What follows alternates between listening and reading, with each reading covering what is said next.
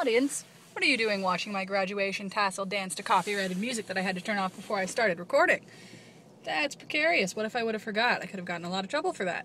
Good thing I'm not a professional YouTuber. Intro of darkness, then redness, then whiteness.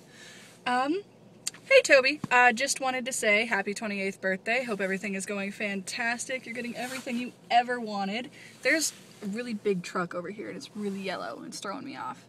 Uh, anyways, um, yeah, hope the weather is way better for you there than it is for us here. Uh, living in Nebraska kind of sucks. Don't ever do it for any reason at all. I mean, it's horrible all year round. Um, so yeah, don't really know what else to say, but uh, there's some snow over there and a squirrel. A squirrel by a tree. And most pointless video in the entire world.